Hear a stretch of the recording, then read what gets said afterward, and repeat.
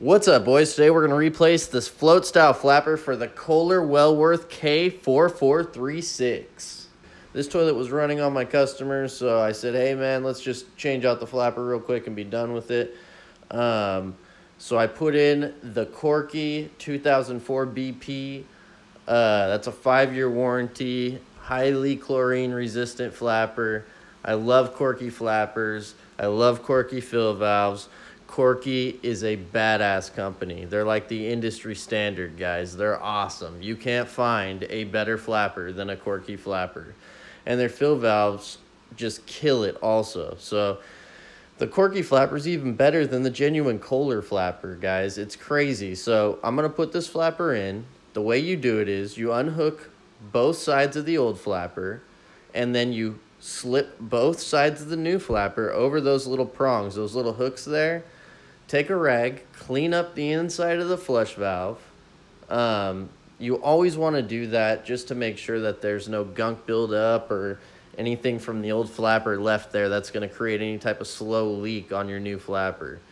Then you want to check your adjustment on the chain. You want to make sure that there's not too much slack on the chain so that the handle throws the chain up properly. And you also want to set the float, the new float, at the same level that the old float was. I usually like giving it like an inch or two between the flapper and the float. Um, that's usually my rule of thumb. Two, maybe two and a half inches at most. Uh, you just want to make sure that you get a good flush. And it's not that big of a deal. It's real easy to reset this one. It's not like the Kohler one where you have to keep clipping and unclipping and clipping and unclipping and clipping. It's just such a nightmare. This one has like they have the two little rubber grommets on each side, and you can just slide the flapper up and down. So you can basically very easily adjust it to give yourself the best flush possible. Here I'm just basically clipping away the excess chain. That's something you want to do, guys. You don't want that excess chain hanging up on the handle or sometimes there's even enough chain. I've come out to places where customers put in their own flappers and there's enough chain. The flapper is actually getting caught underneath the chain is actually getting caught underneath the flapper and causing the flapper to run. So you want to make sure you remove that excess chain. You want a tight chain, but not too tight. You want it to have like, you want the very bottom link of the chain to be sitting there kind of slacked out. So that's it though. You don't want any other links laying off to their side. Just the very bottom one should be laying off kind of to its side with a little bit of slack on it. And that should, that's how you know you've got a good chain. After you install your new flapper, you always want to dye test the tank to be sure that it was a flapper leak, not a flush valve leak, or not a combination. Sometimes it could have been both. Um, flush valves usually go bad way longer, way deeper into the toilet's lifespan. Uh, flat, you have changed probably five or six flappers by the time your flush valve's gone bad.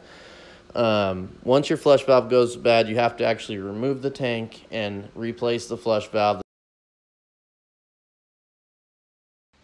Hey guys, thank you so much for taking the time out of your busy day to watch my video. It really means a lot to me. Now, I mean, if you got some more time, I got some more videos. Uh, I don't know. I mean, if you want to learn a little bit about plumbing, just click one of these other videos I got here for you. I got plenty of them, guys, and plenty more coming your way.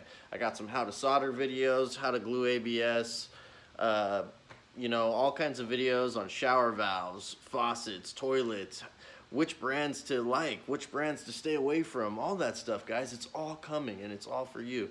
Uh, just stay tuned. Keep checking out my videos, subscribe, like, and uh, I really appreciate you guys. Thank you so much. Seriously, it means a lot to me.